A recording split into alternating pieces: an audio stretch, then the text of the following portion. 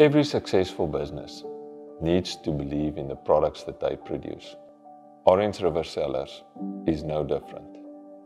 In all of our product categories, we try and deliver the best value for money to our customers.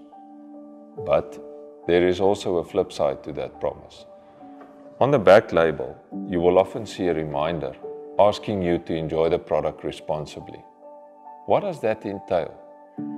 Well, number one, you need to consider your own well being when using our products. And number two, you need to consider the well being of those around you. These might include your family, it might include other users of the road, it includes society in general.